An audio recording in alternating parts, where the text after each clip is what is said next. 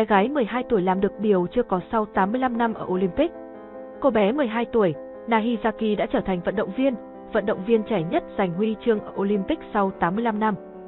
Và hôm nay, nội dung chung kết trượt ván công viên đã diễn ra. Trong đó, vận động viên Sakuza Iosozumi, 19 tuổi đã xuất sắc giành huy chương vàng. Giành huy chương bạc ở nội dung này là vận động viên Nahizaki, 12 tuổi.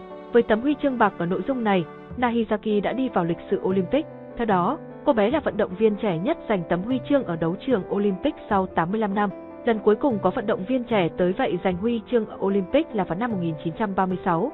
Đó là vận động viên chèo thuyền người Pháp Noel Van Zenotte. Chia sẻ sau khi đi vào lịch sử, Nahizaki cho biết, tôi thực sự không quan tâm tới tuổi tác, tôi chỉ tập trung vào phần thi của mình.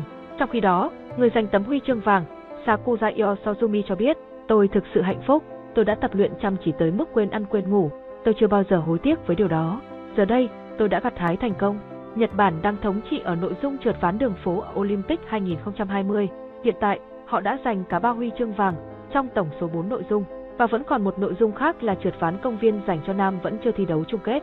Ở nội dung trượt ván đường phố diễn ra vào ngày 26 tháng 7, cô bé Momizini Hiza, 13 tuổi đã xuất sắc giành tấm huy chương vàng này. Điều đó giúp cô trở thành vận động viên trẻ nhất trong lịch sử Nhật Bản giành tấm huy chương vàng Olympic. Kỷ lục trước đó thuộc về kình ngư Kyo Iasaki, người đã giành huy chương vàng môn bơi lội ở tuổi 14.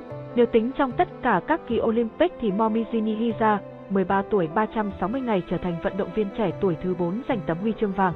Tỷ lục ở thời điểm này thuộc về Mazorie, vận động viên người Mỹ đã giành huy chương vàng ở nội dung nhảy cầu vào năm 1936 ở 13 tuổi 268 ngày. Hai vận động viên khác trẻ hơn Momizini Hiza từng giành huy chương vàng là Cơ Lao Sơ Olympic 1960, Đức, trèo thuyền, 13 tuổi 283 ngày và Fuxia, Olympic 1992, Trung Quốc, nhảy cầu, 13 tuổi 345 ngày.